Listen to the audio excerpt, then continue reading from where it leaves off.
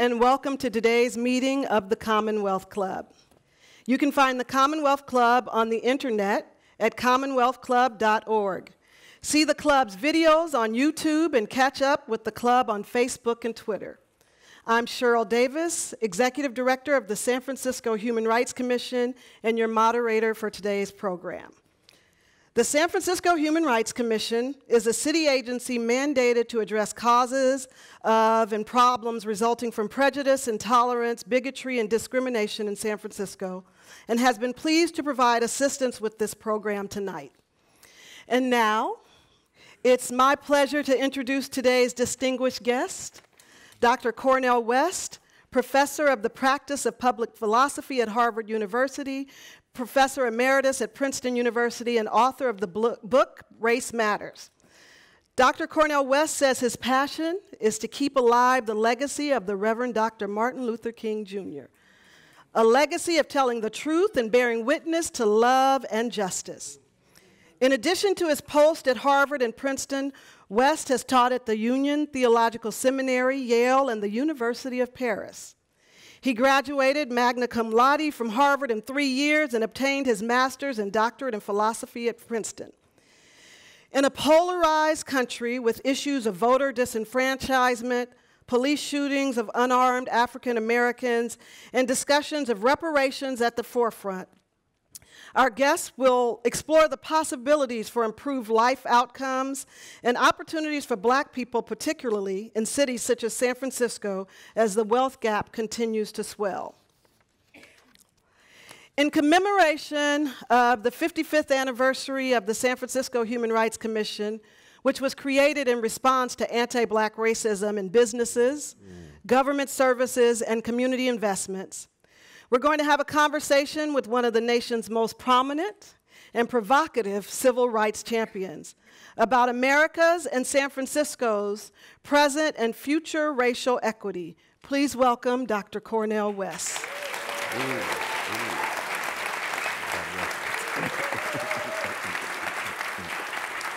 so, first and foremost, I have to thank Dr. West for once again um, accepting the call to come to San Francisco and have a conversation. Um, it has been an interesting journey. 55 years, the HRC was created to address, initially at the heart of it, anti blackness. And when we think about your call or your, your call from within to kind of answer and push forward this idea of love and justice, um, and we think about race relations today, I have one of my favorite books. Dr. King's book, Strength to Love. And when we think about the call to address it, right? This race relations piece in these conversations. In this book, one of the lines that he has is that we have to have the honesty to confront shattered dreams. And I think about the work that you've been doing and look at where we are today versus where we were 55 years ago, right? What does that honest conversation look like for you? Mm. Well, first, I want to just thank you for the work that you do. I want to salute your visionary leadership. Let's give it up for our dear sister. Carol Davis. Absolutely. And I also want to salute your sister. I know your sister here somewhere, wherever she is. She sang last year, and you see, I come out of a tradition in which song is not ornamental and decorative. Mm, that's it's constitutive and integral to who I am. And if I can just sing a song tonight Uh-oh. in such a way that it unsettles you, then it would be a salute to, to your sister and the others, the Aretha Franklins and these Sly Stones and others who constitute so much of that tradition. You know, it's 52 years ago that the great John Coltrane just died a few days ago. And that's part of the legacy as well. I think anytime we talk about politics, we really need to talk about the artists. Because the fundamental question when it comes to black people wrestling with the vicious legacy of white supremacy in this empire is what does it mean to be human? Hmm. What kind of courage, what kind of vision, what costs are we willing really to bear? What kind of risks are we really willing to take? And the fact that here we are here now, this is the Commonwealth Club, 1903, he goes back. You know what I mean? Edward F. Adams, and the first presentation he gave, he said, We want to find the truth and set it loose in the world. 1903, that's Vanilla Brother, way up power elite. with the president of San Francisco State, president of Berkeley, president of banks, and so forth. And then in the space of Harry Bridges. What a fascinating class, Bridge, born in Australia, fundamentally socialized, radicalized by the critique not just of capitalism, but of white supremacy as well. So the International Longshoremen will become not just a site institutionally that will exemplify various kinds of struggles for justice, but would be open to brothers like Martin Luther King Jr. And Ella Baker. Mm. and Fannie mm. Lou Hamer mm. and Stokely Carmichael. Those are just not names in a pantheon. Those are human beings who decided in their own imperfection to try to be forces for good. I'm looking at Brother Willie Brown, straight out of Texas and San Francisco, 85 years young, still on fire. Give it up for this brother right here. still on fire. We go back to my native Sacramento, Speaker of the House, and I've always been an outsider. He's an insider. That's very important. we need a dialectical interplay between the ones on the outside who willing to just bring all kind of wildness in the critique, and then the ends on the inside to give them some space so they can kind of tilt the power in such a way that those Sly Stone call everyday people have a dignity and a decency. And so here we are in 2019. 19. Oh, Lord, have mercy. Brother David Kim will tell you, my, my colleague at Harvard and Brown and Connecticut College. We're in one of the grimmest moments in the history of this empire. We got to be very honest about that. Mm. It's unclear whether the, whether the fragile experiment in democracy can survive. Mm. What I mean by that is not just rule of law, but democratic sensibilities and sentiments being cultivated by the citizenry. Hmm. And more and more the message is survival of the slickest mm, mm. and the strongest, mm. which is a diametrically opposed notion of the tradition that produced me, which is one of you will be hated, respond with the deepest forms of love. You will be traumatized, respond with the deepest forms of healing. You will be terrorized for 400 years respond with a commitment to freedom, which means you're not in it for popularity. You don't want to put us, slap your grandmama in the grave by telling her that you succumbed to the gutter rather than held up certain bloodstained banners of freedom, integrity, honesty, generosity, and truth telling. And the condition of truth is always what? To allow suffering to speak. There is no truth in the human condition unless we listen to those, in the language of Malcolm, who are catching hell. Mm. And that's the exact opposite we see in the White House and so many state houses, but not just in politics. We're seeing it more and more in our churches, well, in our mosque, in our synagogue. We're seeing it more and more in our educational institutions where corporatization, commodification, Commercialization, money, money, money, status, status, status, power, power, power. And what kind of sign does that send to the, our young people? Well, thank God when I was coming along, we had ministers, professors, we had politicians that said they would rather be in the language of the great Mary Ellen Pleasant. You all know who Mary Ellen Pleasant was now? The mother of human rights in California, right? the first black woman who was a multimillionaire. She was worth $647 million in the 1840s. Okay. I'm going to say that again. Mary Ellen Pleasant, before Madam J. Walker. Mm. She married a vanilla brother who dropped dead and she inherited it the money. That'd be $647 million a day. She had it. What did she do? She gave a million dollars to John Brown. He was the vanilla brother who loved black people more than many black people love themselves. That's right. A million dollars to John Brown. Deal with the Underground Railroad. Here's the cash. I'm a real estate magnate. Take the money. Mm. That's Mary Ellen Pleasant, San Francisco. That's it. You see, San Francisco. But she is one moment in a larger tradition. Some folk have less money and say, Take my service, take my time, take my energy. I'm going to focus on little Jamal. You focus on J- Jamila. I'm going to focus on Susan. You focus on Jose. And one of the wonderful things about the tradition that produced we black people is that when the love is deep enough to start on the chocolate side of town and it's real, Right. it spills over to the vanilla side. But sometimes But it people doesn't struggle start with there. that. Because that's the last thing you need is mm-hmm. black people who love everybody but, But black people. Yep. That's, the it. last thing you need. But if you love black people deep enough and it's real and concrete, then it's going to move to the barrio.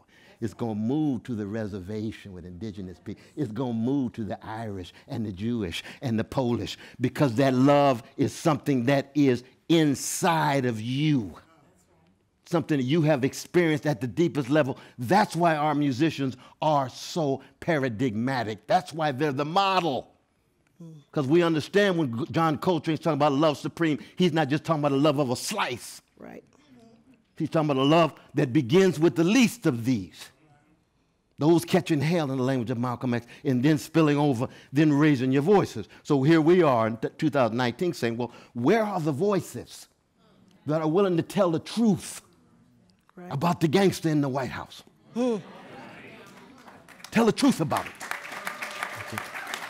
But as we talked about last, last year as well, Yeah. to recognize you say, oh, brother, last you call him a gangster. No, that's, exact- that's exactly right. That's right. That's not a subjective expression. That's an objective condition. gangsters are gangsters based on evidence. Brother Willie Brown knows I grew up on the chocolate side of Sacramento, and I know there's gangster inside of me. Mm. Mm. I know what it's like to be a gangster. I grew up with some gangsters. When I met Jesus and decided, lo and behold, I'm a redeemed sinner now with gangster proclivities. And I'm honest about thugs and gangsters in high places, whatever color they come in, to keep them accountable across the board. There's the primacy of the moral, primacy of the spiritual that has a systemic analysis of the system under which we live, which is one of empire. That's why we should never say this nation is a nation of immigrants. That's a lie. When you hear it on the neoliberal corporate media, just say to yourself, that's a lie. Indigenous peoples were here. Thousands and thousands and thousands. Anytime they say U.S. slavery is America's original sin, that's a neoliberal lie. That was the second sin. Yeah. But don't say it's original. We don't need to highlight black suffering in such a way that it downplays somebody else's suffering. Hmm. White supremacy began as an imperial attempt to engage in the stealing of this land for looking for gold. That's California's story in part. Gold rush. And what happens in a society in which you view life as a gold rush, you end up worshiping the golden calf. Hmm. And the golden rule becomes he or she rules who has the gold. And those who have very little power are pushed more and more to the margin. So we need voices, mm-hmm. institutions like civil rights, the Human Rights Commission, and others. We need churches, mosques, synagogues, civic institutions, trade unions, professors, everyday peoples raising their voices in the name of a love and justice that tells the truth about the people in power and brings pressure to bear to change it. But it's hard these days in a market driven society to even get to truth. Just like in war, truth is the first casualty. So it is in this battlefield that we find ourselves on. It's hard to even get the people who are telling the truth. Everybody concerned about their careers, concerned about the next opportunity, concerned about th- their particular move, their upward mobility, str- strategic move. What happened to the truth? Well, Oh, So, but- young folk hungry for it. can, but can I ask you, boy, so yeah, you, I'm you said a, so long, young folk no, no, no, you gave a lot. Uh, you gave a lot. I'm trying to like You, you, you, I, I had a bunch of questions Lord, in all yeah. that you were saying. oh, Lord, yeah. But, but I'm, another book, I know everybody's looking forward to uh, Race Matters, revisiting that, but this book, Black Prophetic Fire, and you mentioned um, Ella Baker. Oh, Sister Ella. Talked about inside outside game, right? Absolutely. And in this, I, I was going to say to you, you are both a prophet and a scholar. I feel like you, you are prophetic in, uh, in and of the work that you do. But you said here, I think in many ways, Ella Baker is the most relevant of our historic figures when it comes to democratic forms of leadership. When it comes to a deep and abiding love for not just black people in the abstract or poor people in the abstract, but a deep commitment to their capacities and their abilities to think critically, to organize themselves, and to think systematically in terms of opposition to and transformation of a system. And so, as you talk about where we are right now, and we look at what's happened, what they call the squad, right? Yes, when we think about these women that are taking leadership, right? Where are we in that prophetic fire that you think about, that you talk about, the Ella Bakers of the world? Do those women represent that to you? Oh, absolutely. It's within the electoral political system, mm. which even requires a certain more special kind of courage. You see, it's one thing to tell the truth on the outside. It's another thing when you get inside with the constructural constraints and you recognize that if you say certain things, you might lose your job or get be cast in such a way that you no longer are effective within those circumscribed contexts. That's what the electoral political system is. You see, and we'll have more time to talk about that as well, you see. And that's what they're in. So they like Adam Clayton Powell. They're like Brother Harold Washington, Brother Willie Brown. To be inside of that system. And Brother Willie will tell us, boy, you can suffocate in that, oh, can't you?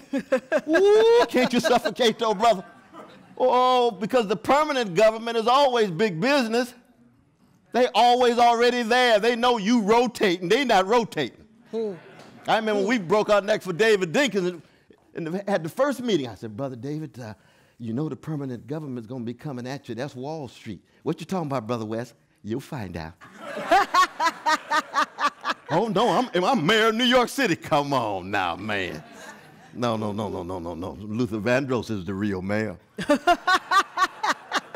he the one that got the freedom. You locked in. You locked in. But we're going to put pressure to, to give you some more space so that working people and poor people's interests and principles can have more resonance and have more gravity in that way. And so it is, I think, in terms of, uh, of, where we are now with these four sisters. They, to me, have been exemplary in their courage, and they're so young. Good God Almighty. Yeah. They're so young. They have to deal with those vicious lies where their very lives are at stake. Mm. You know what I mean? And, and someone just got here just a few years ago, a few decades ago, in the United States from a blessed country named Somalia. Mm. Somalia has produced some great, powerful figures. There's another with Sister Omar. Mm-hmm. See. Puerto Rico, oh my God, what's happening in Puerto Rico right now? Right, right. Puerto Rico's still a colony. Albizu Campos' daughter just died. Laura just died two, two months ago. Raising up, hitting the streets. America has a colony? You don't say. Where do you think Philippines was? Where do you think Guam was? Where do you think Cuba was? Where do you think Samoa was? Where are we right now? It used to be Mexico. How you think we got it? Socratic dialogue? Ulysses S. Grant said one of the most unjust wars in the history of the annals of war. Mm. Mexico lost half of its country. That's called gentrification on a global scale. Just coming, grabbing power and land. This is mine. How's it get to be mine? Because I want it. Where'd that come from? Might doesn't make right. We didn't learn that in where we grew up. That's gangster orientation. You don't say, we call it manifest destiny.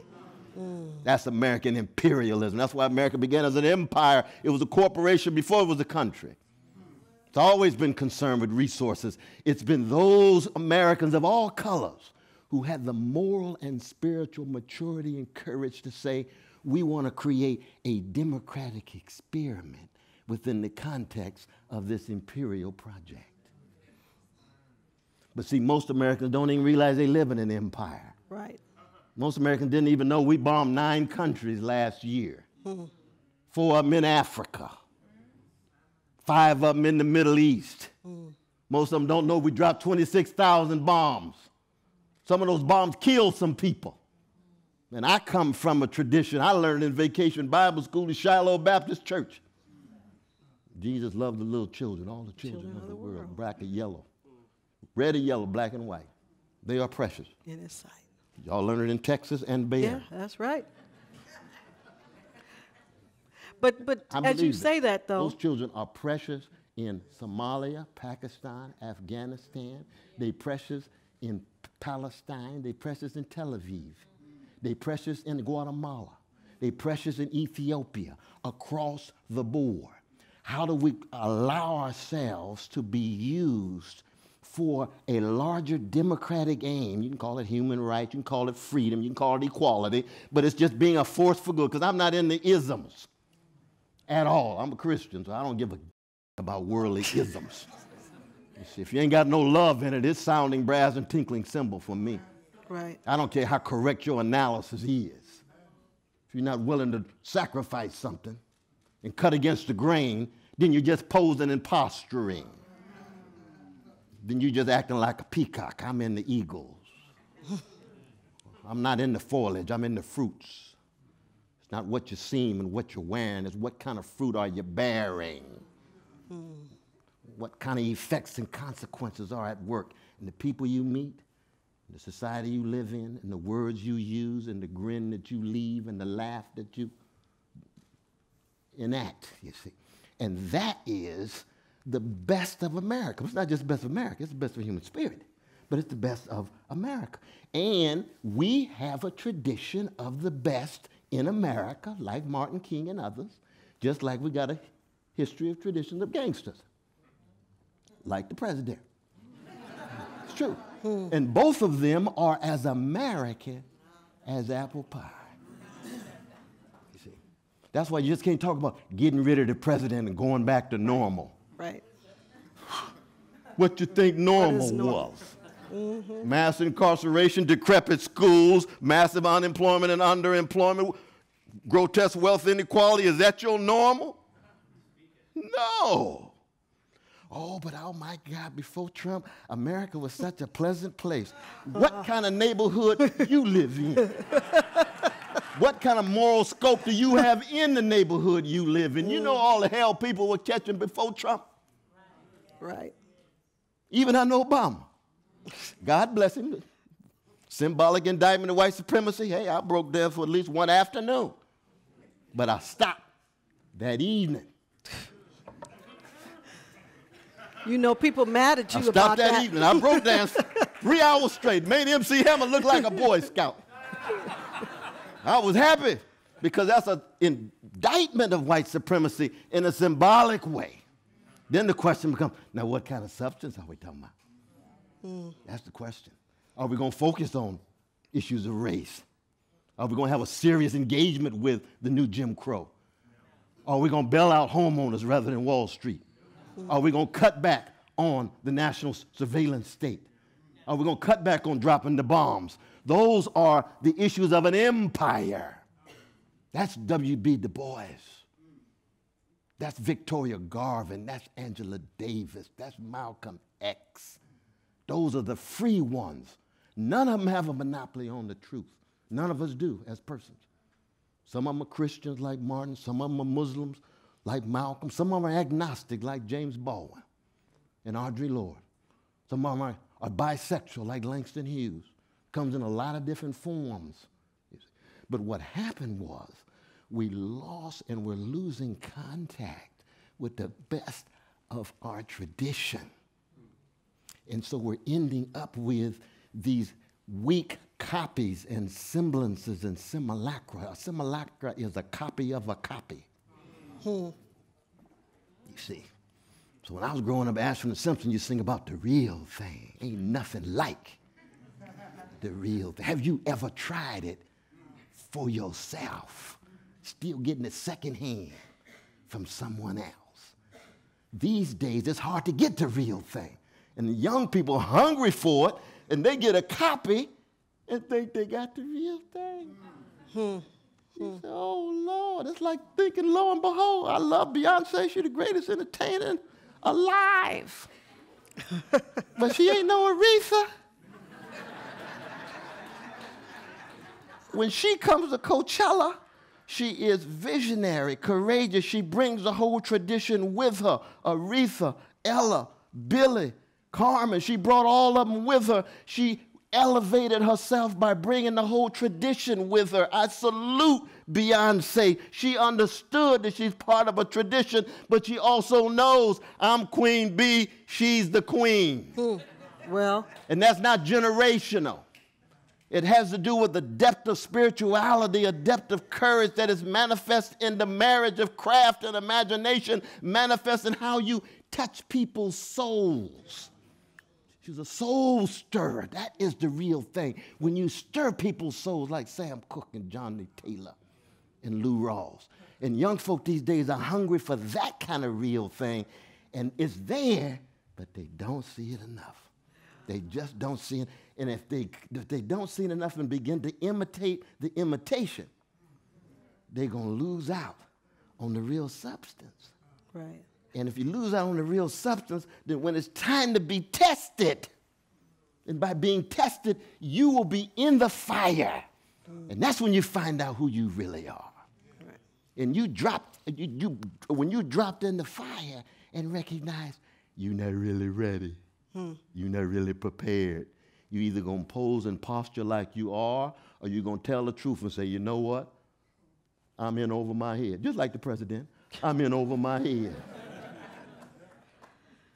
And this is, and I'm talking especially in the black community here. But, but as you talk, talk about the black. black community, you talk about tradition, you talk about spirituality, one of the questions here is about um, really the old school way of one of the reasons I got initially on the Human Rights Commission is that certain things are still very taboo in the black community. Mm. When you mm. talk about LGBTQ issues, when you talk about transgender issues, and this question is about um, how do we deal with the discomfort still within the black community sometimes to have those conversations and see people as people, the humanity of folks, yeah. to celebrate that, to move beyond the old school traditions and ways of thinking. But this is where the issue comes back to love again. It comes back to love again. And you see, deep, kenotic, self emptying love never goes out of style. I don't care what generation it is. So if you think that somehow you can love black people but not love James Baldwin, hmm. or not love Luther Vandross because he's gay, you need to check yourself. Or you walk into your church and see that brother playing that organ. God bless him. And everybody know he's gay as James Baldwin. everybody know that. But they're going to sit up there and lie. Hmm. Just lying. Then you got folk in the pulpit. Well, well. In the pew, on the down low. Just be honest. Just be candid. And say, we human beings, like everybody else, love come in a number of different forms. Don't make us better because we love an X and Y. Don't make us worse. We just human. And lo and behold, we need to be accountable like everybody else. Let's bring our resources, our imaginations, our courage together in order to be stronger forces for good. Across the board. But if you're going to truncate love, if you're going to bottle it up, same is true with patriarchy. Oh, the women can't preach right. in this in well, the pulpit. How in the world you gonna fight white supremacy with all of its various levels and only got one arm? it ain't clear with both arms we gonna win, but at least we can go down swinging with both. And so, in that sense, it's a matter of both moral and spiritual quality in terms of what goes into the embrace of those who have different ways in which their love is expressed, but also very practically. We need all the voices. Now, thank God our anthem is lift every voice. Okay. Doesn't just say lift every straight voice. oh, that's not James. That's not James Weldon Johnson. That's not Rosamond Johnson. It's lift every voice. But it doesn't say lift every echo. Mm. Mm. You don't want no echo chambers. Mm. You can't be a jazz man or a blues woman without finding your voice. If you're just going to be an echo, then go to the karaoke. What is that? What's that club they got? The karaoke okay. club. Yeah, go, go to the karaoke. just echo what the folk are doing. You're going to find your own voice like your fingerprint, that's inside of each and every one of us. Mm. And that's how we find our callings, our vocations. An invocation, grandmama's voice in us, granddad's afterlife in our life. That's the caravan of love that the Isley brothers singing about. That's the tradition of love and justice that comes out of a hated people that opens itself to the world. And that's what is leading partly toward the, the staleness of our society. Mm-hmm. Because there once was a time when we actually could go to major black institutions and voices and hear something free mm-hmm. and truthful. Mm-hmm. Now, it may have the chance of a snowball in hell of being translated because black freedom has always been a taboo in a white supremacist civilization. Mm. But people could raise their voices. They could walk like they free. They could laugh like Richard Pryor. Mm. Free man. They could swing like Muhammad Ali. Free man. They could sing like Ella would swing. Swing ain't nothing but what? Freedom. Stay away from the flatness of the notes. Be on top, on the side, through it, everywhere but on the note. That's called a blue note. That's freedom of a people who every day unfree. Jack Johnson, free in the ring. The only space in the whole white supremacist civilization was a ring. That was the only space he could find fairness. He's knocking Vanilla Brothers out. and he was viewed as what? A free man who was a major threat because when the rules are fair, here come black folk, here come brown folk, here come Asian folk, here come white poor folk. Just set the rules in such a way that they're fair, and you'll see your white supremacy and patriarchy and homophobia and transphobia begin to melt. Mm. It begins to just melt. Not because anybody's better, but because the rules are fair. But oh, how hard it is to make the rules fair. Right. Somebody got to fight, somebody got to live, somebody got to die to do that. Right. Absolutely. So you, you reference, because I know you are a lover of music, and uh, your uh, album and the song you did with Prince, Mr. Man. Oh, but we miss Prince. Right. Oh, we miss Prince. Oh, Lord. And, and this, yeah. this line in here mm. listen, ain't no sense in voting. Same song with a different name. Might not be in the back of the bus, but it sure feels just the same.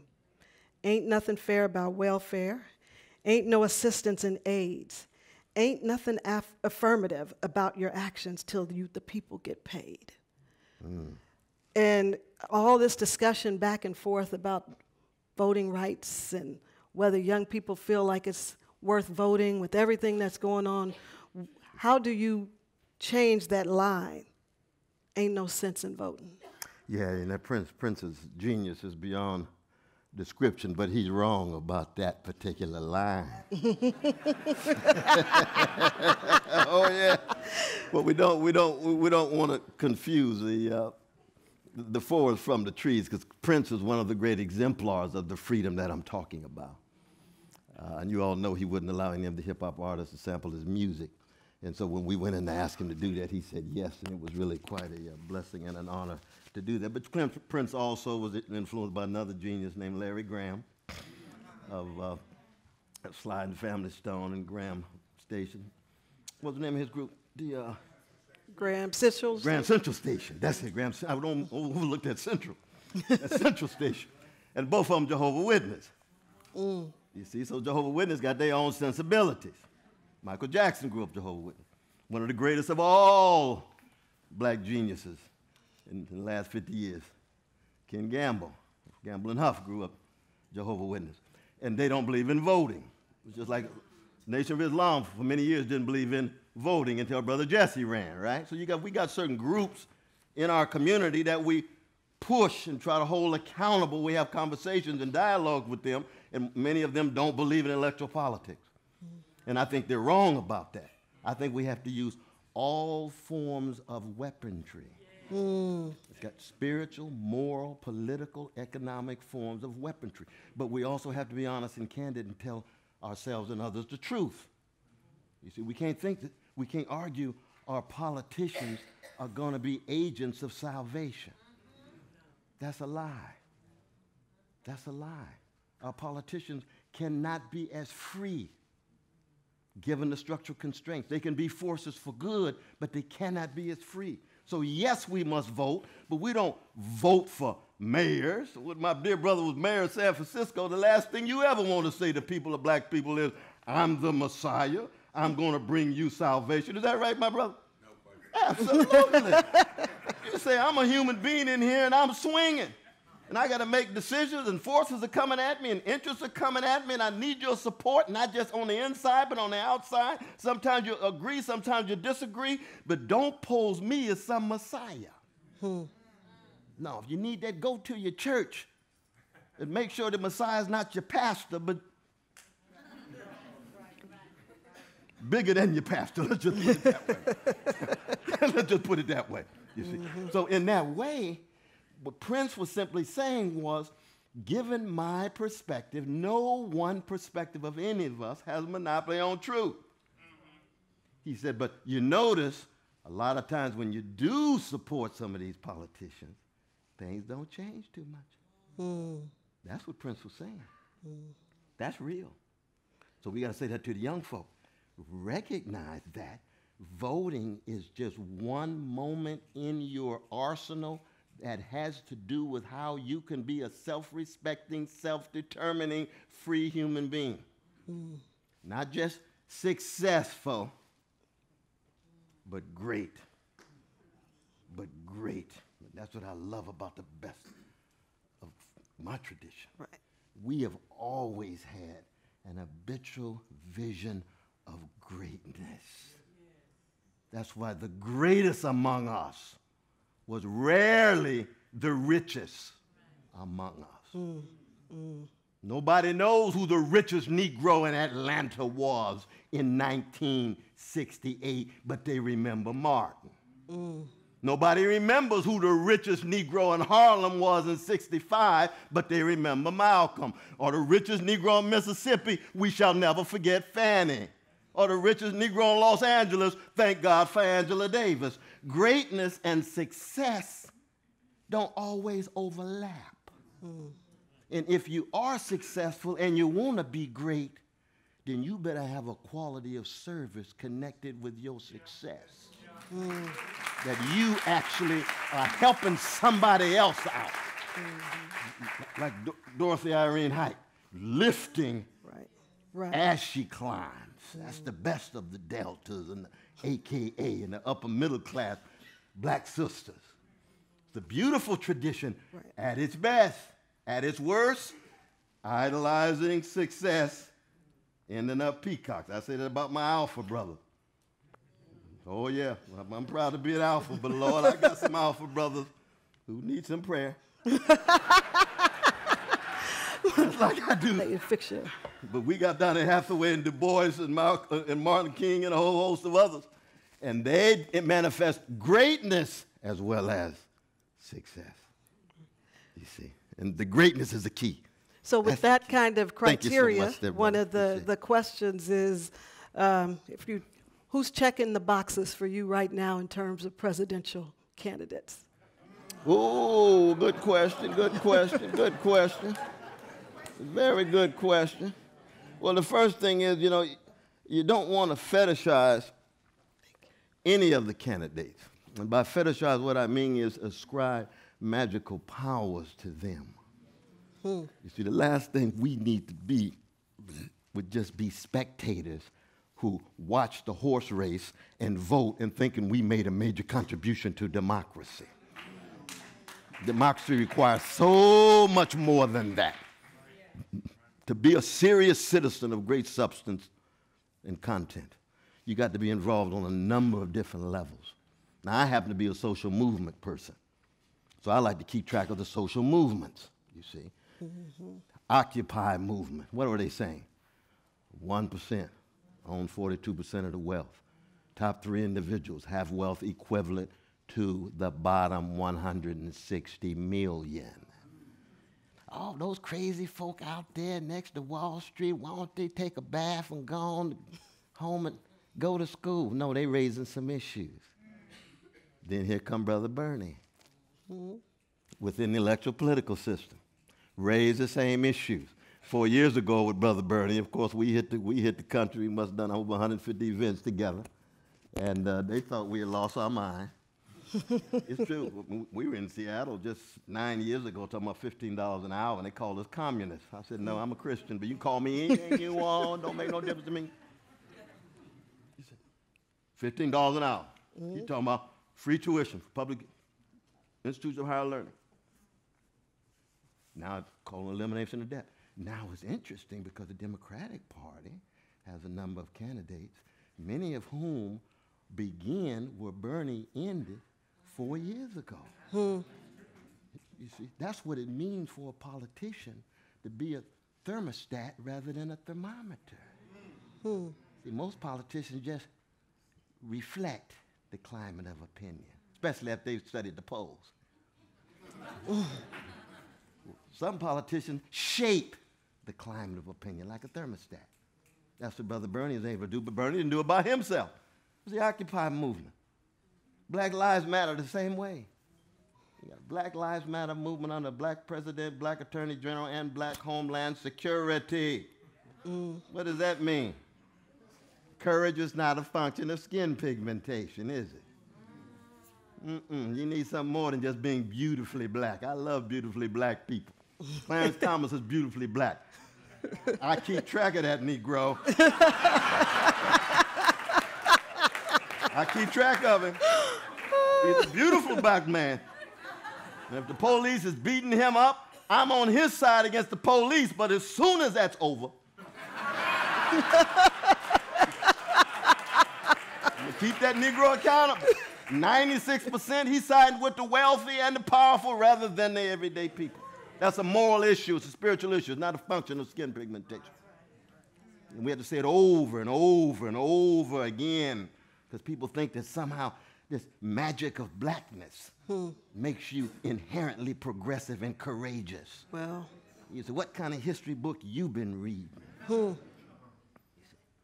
And yet at the same time, you have to acknowledge that blackness is so thoroughly degraded and hated and treated with disgust in a white supremacist civilization. Right. So you have to be able to keep track of the love of self and the love of human beings who are Africans and of black pigmentation, and still by keeping track of their humanity, recognize they can be thugs and gangsters too. Well, that they can be cowardly, they can be complacent, they can be complicitous with structures of domination. And we in America, I mean, we got to be honest about it, and this is part of our problem these days, you know, that uh, it's been often said by the great F.O. Matthiessen that America is unique among nations to move from perceived innocence to corruption without a mediating stage of maturity. very powerful statement. Very powerful statement. Because America, as an empire, it's like the Persian Empire, and we were talking about Cyrus with the, Sister Alex, uh, we were talking about earlier uh, with, with, Sister Allie and, and Amy. The Persian Empire at the time moments with Cyrus met his defeat, the Battle of Marathon the Roman Empire, oh my God, the British Empire, Austro Hungarian Empire, Ottoman Empire. America has been an empire. It is an empire in decline and decay. And if it does not regenerate itself and learn and listen from the best voices, it will go under like any other empire. America does, God does not look on America and somehow give us a nice little nod hmm. and say, I'm always for you. You my special ones. You my chosen people. no, if you don't follow through and do justice like any other empire, you lose your empire. You lose the best of it. Hmm. And that's a fundamental fact. And these days, with, with the candidates like Brother Bernie, for it was true for, for, for Sister AOC and others. Oh, America's gonna go socialist. Well, look, let's look at this now. The Pledge of, Pledge of Allegiance, written by a Democratic Socialist, Francis Bellamy. The song, America the Beautiful, written by Katharine Lee Bates, Democratic Socialist. America's greatest poet, Walt Whitman, Democratic Socialist. America's greatest philosopher, John Dewey, Democratic Socialist. Greatest Christian social ethicist, Reinhold Niebuhr, Democratic Socialist. Martin Luther King Jr., I ain't got no language for that brother, ends up Democratic Socialist. Helen Keller, deaf, mute, blind, graduate of Radcliffe, Democratic Socialist. We can go on and on. We ain't got the Jack London from Oakland yet. We ain't got the Harry Bridges yet. And we ain't got to agree with everything about them. But democratic socialism in its varieties is as American as apple pie. As apple pie. But the claim is anytime you talk about socialism, you must be talking about the Soviet Union, you must be talking about China under Mao and so forth and so on. No, that's not just American ignorance, and we saw it with Lindsey Graham. You all see Lindsey Graham the other day? that was the Donald Duck version of Joseph McCarthy. That's what that was. It was a cartoonist version of the hysteria charging against communists like Harry Bridges and others. That's what it was. Robeson, Du Bois, all of them. Angela Davis, across the board. But it's not going to work for the younger generation the way it did in the 1950s. You ain't going to get a black list of, of, of Hollywood. You're not going to get professors who were pushed out of their jobs across the board the way you did in the 1950s. You're not going to send Claudia Jones to London because she's a member of the Communist Party. Hmm. That's played out. That's over. But they're trying to use the same playbook. Because if they can just charge anybody with being a communist, somehow you're dismissed. And I must say, anytime people call me a communist, I say in the name of Jesus, thank you for the compliment. thank you. Because I can tell you my critique of communism when it's tied to domination and repression and regimentation. But I can tell you anybody who falls in love with the struggle for poor and working people in their various ways and they're willing to sacrifice, they are significantly comrades to the degree to which they are willing to bring critique to bear on the powers that be. And so, in that sense, we ought not to be afraid and scared and intimidated. And that's crucial because the history of the black movement is to keep people's black people so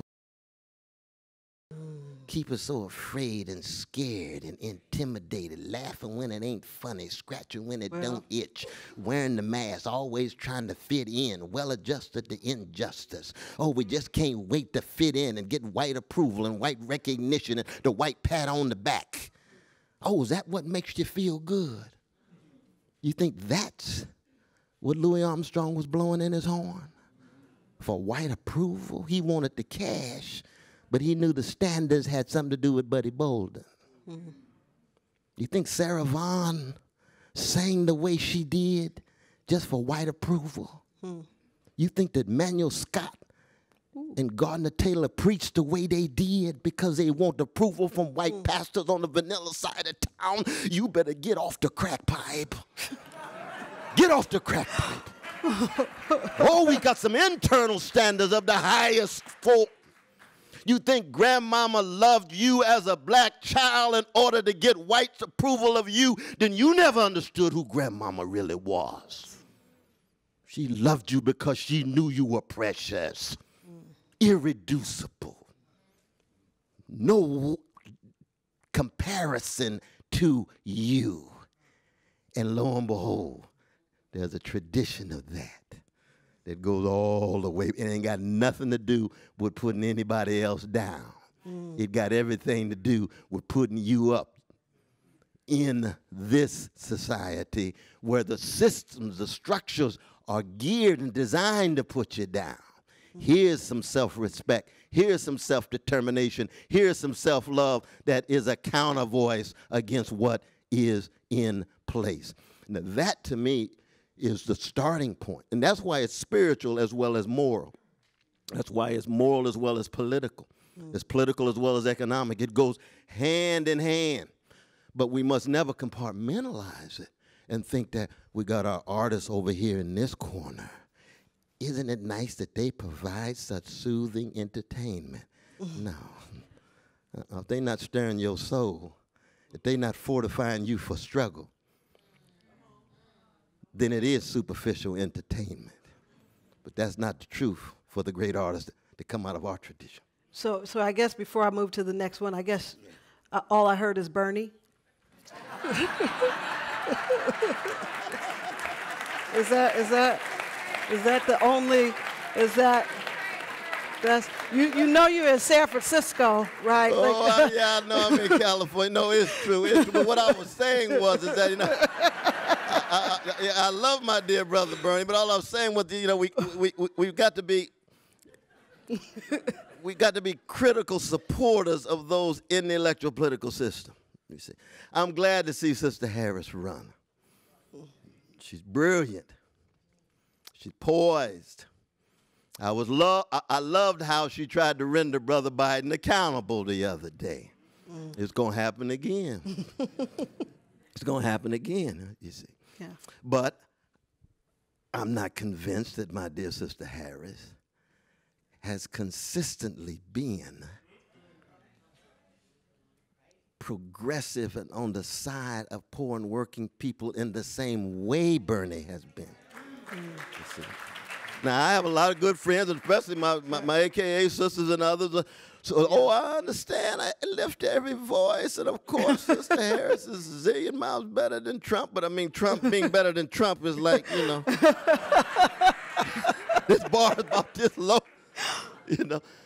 Uh, and uh, and the same is true with Sister Elizabeth Warren. I have great, great uh, love and respect for her, just like I do Sister. Uh, oh, sorry. A, ooh, tell me you call it Bernie right here. No.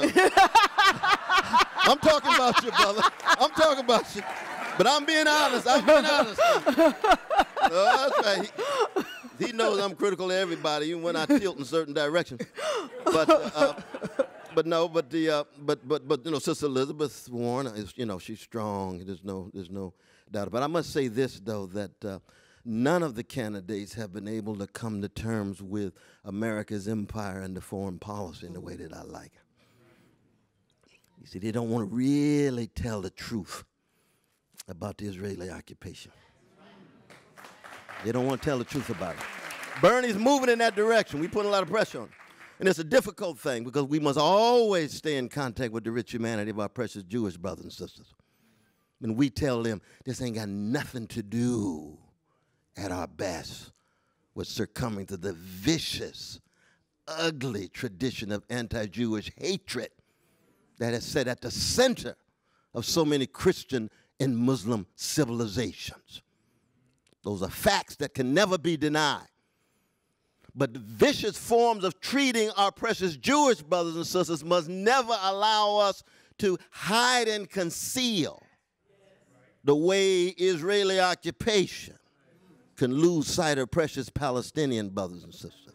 And we have to say over and over again a Palestinian baby has exactly the same value as a Jewish baby. Mm. And a Jewish baby has the same value as a Palestinian baby. Neither side has a monopoly of truth, but an occupation is an occupation. Kashmir, Tibet, Western Sub Sahara, those are all occupations. We have to be honest about that asymmetric relation of power, that structure of domination. That's the beginning, but also in terms of the wars. Mm. Look at the Democrats' vote for Trump's $750 billion military budget. Wow. Did we hear any major critiques of it coming out of the Democratic Party? Hmm. And this, I know Sister Nancy just right across the way here. Sister Pelosi herself, God bless and be with her. And Jesus keep me near the cross, God dang it. but as Speaker of the House, you see, you got to be able to keep the vision alongside your practical calculations.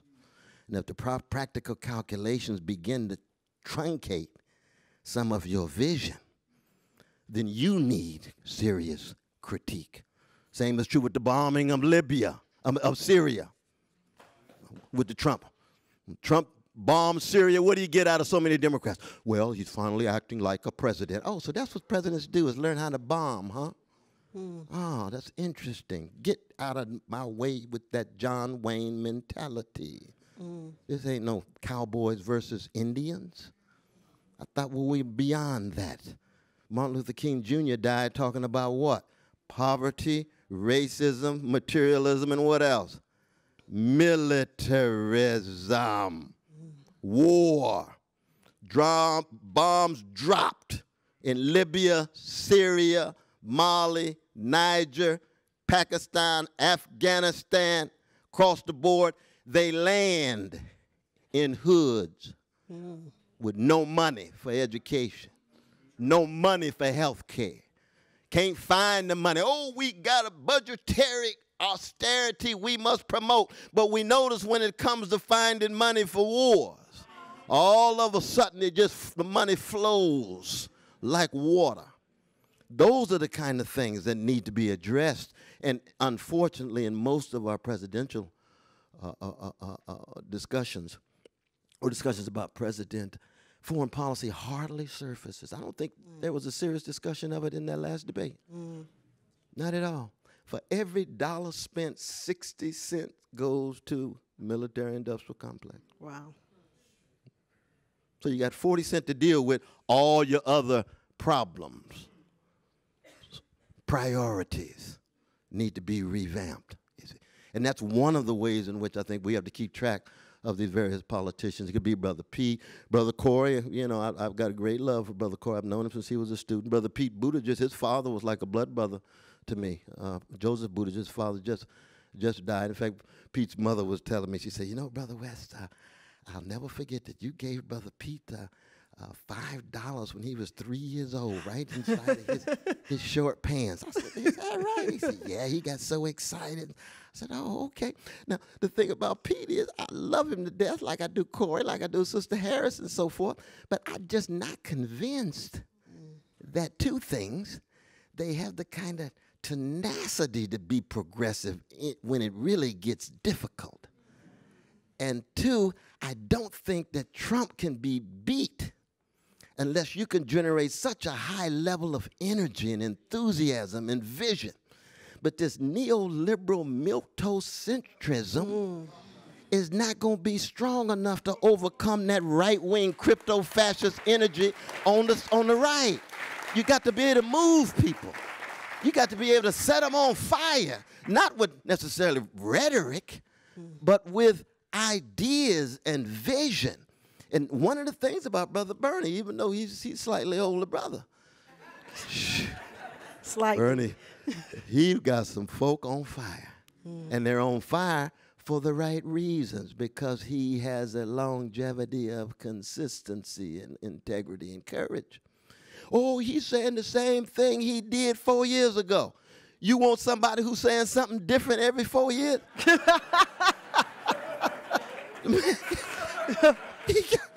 what, what, He's not hitting race hard enough. Let's put the pressure on him. He's not highlighting reparations. Let's put the pressure on. I'm a reparations man.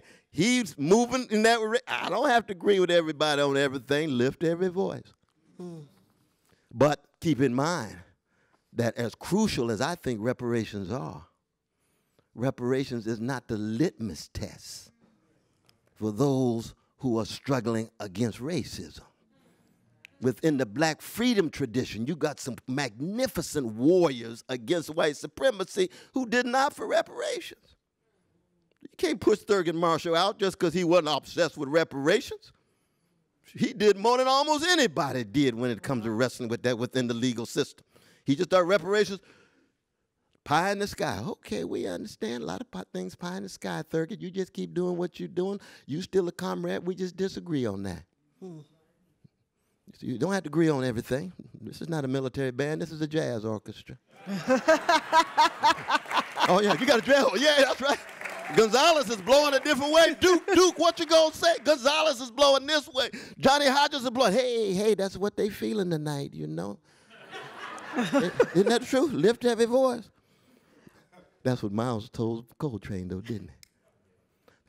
Miles is your quartet. How come you take three minutes and Train takes 19 minutes? Takes him that long to say what he got to say.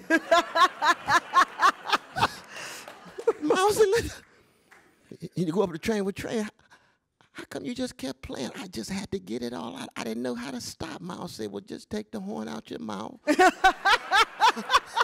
when, it's time, but he, Miles let him do it though, didn't he? He wouldn't didn't have his ego. Ah, this is my quintet. I'm gonna pay 18 train, you pay three. That's what big folk would do nowadays. And they would get that from where? They'd get it from their agents and their spinsters. Miles, you know you're not gonna get the same kind of contracts if you just allow Train to keep blowing. Next thing you know, it's gonna be Train's quartet. Get out of my mouth. Thanks. Train is my brother.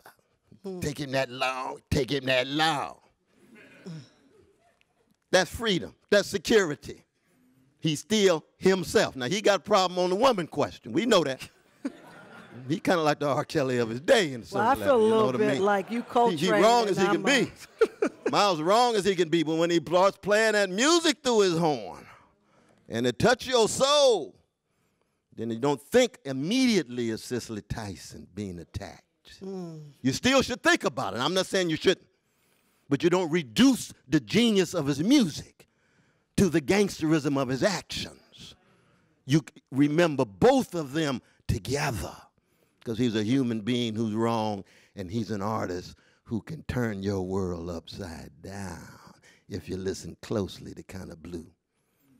And that's the kind of re, uh, openness as well as accountability I think that we need. And I again thank God for the um, San Francisco Human Rights Commission and the Commonwealth Club for uh, allowing the kind of discussions that we're trying to enact here to take place because um, it is so badly needed. In the end, I don't think it's going to be a question of who has the best plan. It's not going to be a question in the end of uh, who's head of the polls. It's going to be who can energize and re revitalize the people in a direction that's over against the kind of gangster leadership and gangster policies of a brother named Donald Trump with a precious mother named Mary Anne who got here in 1930. Mm. But I say as a black man who's been here for nine generations, my dear sister, I don't want you to go back. Mm. I don't want you to go back. Come on in the empire and try to make it more democratic. My slave ancestors built the country. Mm.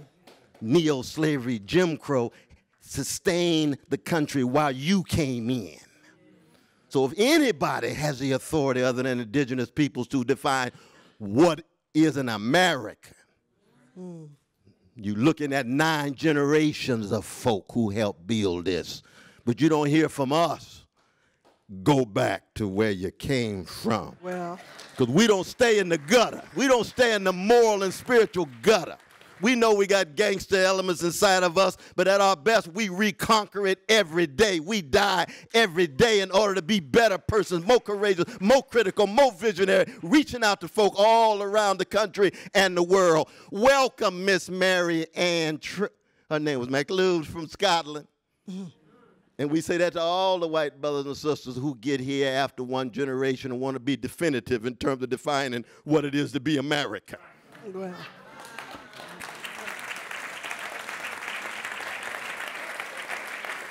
Well, uh, Dr. West putting his mic down, I guess, is the equivalent of the mic drop. um, and unfortunately, no, we, I got you got no, questions. That's no, no, I, I do, but unfortunately, we're we're at time. Oh, but the spirit don't function by time, though. see, see. But I know you are you are getting tired. Though. They, if they if they getting tired, I, I Well, do if you would them. indulge But me, I do have a couple questions, of- yes. But I, I, I try to be very short, and you should answer some of these questions too, given your vision there. Well, no. Oh yeah. All right. I hand this mic to you. I'm going to let you have it All right. All right. because right. you are the Coltrane on this stage tonight. Oh no, no, no.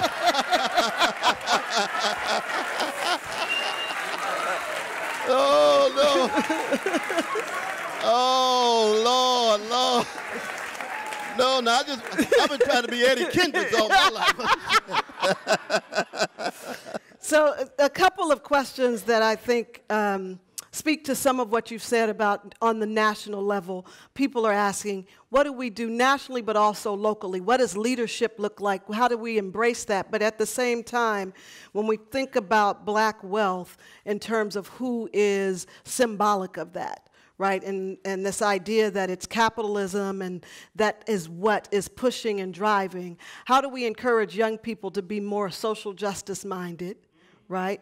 In this age when Beyonce and Rihanna and Jay Z are what we look to in terms of financial wealth and well being for black folks. No, it's a wonderful question. We, we were talking about uh, my dear sister Beyonce before and the way in which, especially with Coachella, you see this shift that's taking place. And Nina Simone's legacy is beginning really to penetrate in a serious way, it's connected to tradition. But you see, in a market-driven culture, though, it's not just about individuals. It's really about how your spirit and character is being shaped. You see, if you really believe that you're going to feel so much better about yourself because you got a huge mansion, you're living large, and you got a trophy spouse and so forth, then you need spiritual transformation. Because it just won't last that long. I mean, everybody fall into it at certain moments because it's a human thing. But you got to really ask the question, what is the source of your enduring joy, not your ephemeral pleasure? Hmm. You see, that's a spiritual question. You see, and all of us fall short. You try again, fight, fail again, fail better. But it's a spiritual question. And so part of the problem of our young people is that their spiritual life has been so truncated by the market culture. And the families are weak. I grew up in the ghetto. It was a community. Donny Hathaway sang about the love in it. Many of them grew up in the hood. That's not a site of a lot of overwhelming love. That's survival of the slickest, just like Wall Street. So that so many of our young people are not loved enough. They're not cared for enough. I didn't have to worry about that. You see. So whoever I am, I am who I am because my mama loved me, my daddy loved me, my grandmama loved me, Reverend Cook loved me, Deacon Hinton loved me, Sarah Ray, my vacation Bible school teacher loved me. I wasn't worthy of it, but I received it. And I'll be true to it until the day I die.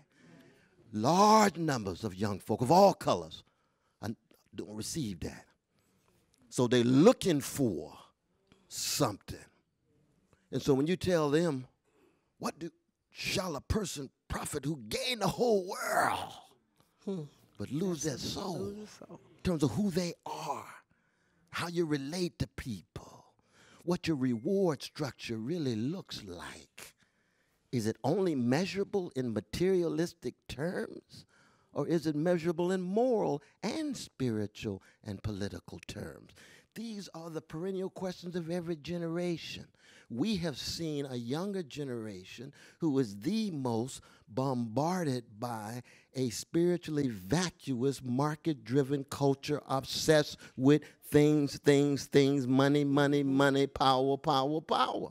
Yeah. That's why I salute so many of them because if I had grown up mm-hmm. in circumstances that they grew up, oh, Lord. I mean, one, I would have been in jail a long time ago. and I still may end up in jail. it's true. There's nothing but the Holy Ghost holding me together. I may break loose tonight and do something so ungodly. you just don't know. I'm, I'm being honest about this. You- see what I mean? This, this is a momentary thing. It's day to day. but for our precious young people of all colors, even the well to do, I see them in Harvard and Princeton all the time. 800 board scores, straight A's, and wondering whether they're still loved or not. Hmm.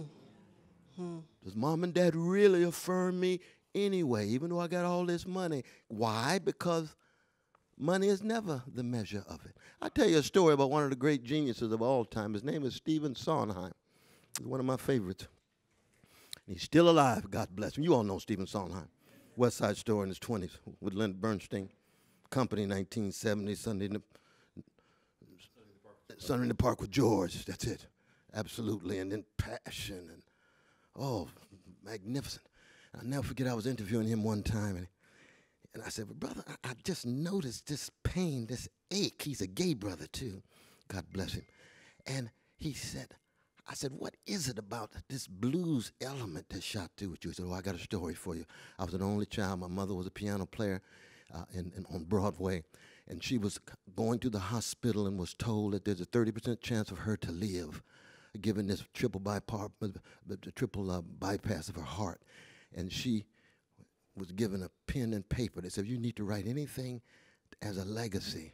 You might need to write it. And she wrote one line.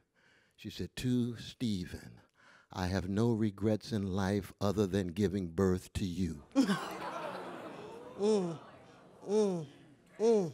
And I reached over and I gave a hug to my dear brother Sondheim and I said, I've been a black man in America for decades, and I ain't never experienced mm. that level mm. of alienation because my mama loved me. Mm. My daddy loved me. Mm. I said, so even though you grow up on the vanilla side of town. Jewish brother, genius to the core, gay brother. He's wrestling with forms of catastrophe I know not of. Just like I'm wrestling with forms of catastrophe in relation to white supremacy, he knows not of. Yeah, right. But his genius, soul person that he is, digging deep inside of his own soul. So when you listen to No More and uh, uh, what's what's the uh, the play where where into the woods? That's right. But part one is happy, you live happy ever after, and part two was Cinderella gets to Prince and discovers, is that all you are? all this wishing I've been doing. And Sondheim says what? Wishes come may come true, but never free. Mm. See, that's coming out of his genius and his experience. That's our human connection. All of our human connections, because catastrophe is on its way to all of our houses in one form or another. Mm. And our young people have to be fortified and equipped. That's why I continually talk about being fortified. That sixth chapter of Ephesians. You got to put on the whole armor. Mm-hmm. Yeah. Put it on. And yeah. even when you put it on, you better make sure you're with the right army. Mm-hmm. And it has to be an army who's not sunshine soldiers, but all season warriors. And even if they're all season warriors, you still might get crushed. Hmm. So what? Go down swinging right. with a smile, with style. Don't ever allow anybody to steal your joy mm, mm. that you get out of serving others fighting for others, highlighting others. Because mm. once you have that joy, it's irreducible. Hmm. And once they know they can't smash and suffocate that joy, then you, ooh, this is wonderful. You remember that song by Ashford and Simpson called Send It? Send It. Sing a little bit. Ooh, is Sarah here? Sarah, Send I think it's ba, ba, ba, ba, You uh, got to just pass on the joy. Sarah, do you know pass that? Pass on the joy. Send it. That's Ashford and Simpson. Like a puff of smoke. Mm. You see, just send it. Keep dishing it out. Allow it to flow.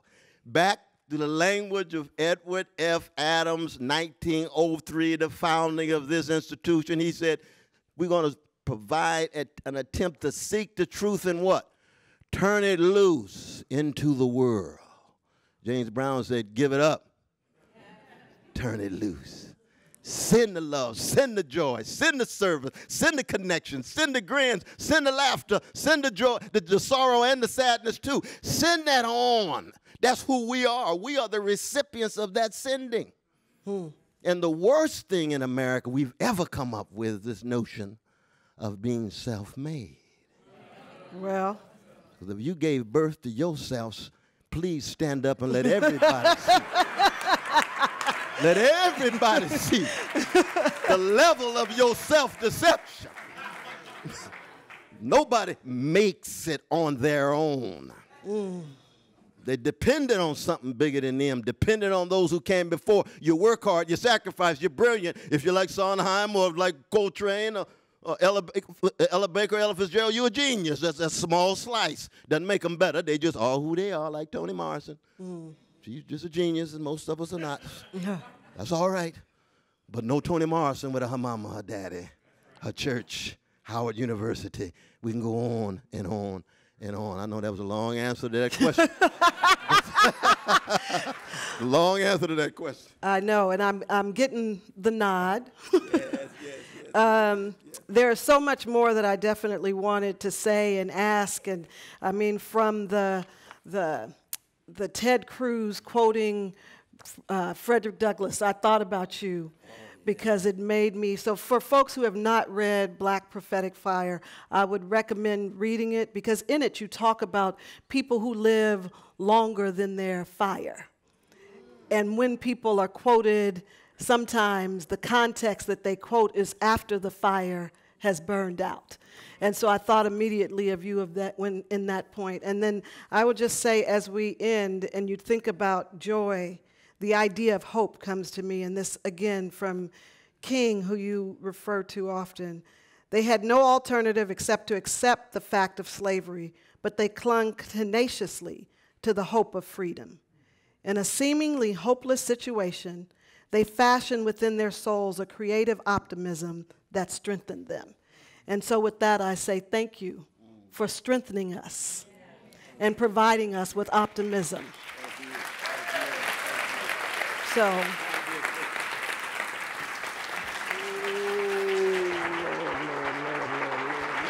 so I have to, I have to say this part here. Our thanks to Dr. Cornel West, professor of the practice of public philosophy at Harvard University, professor emeritus at Princeton University, and author of the book Race Matters. We also thank our audience here and on radio, television, and the internet. The San Francisco Human Rights Commission has been pleased to provide assistance with this program. I'm Sheryl Davis, and now this meeting of the Commonwealth Club, the place where you're in the know, is adjourned. God bless you, my brother.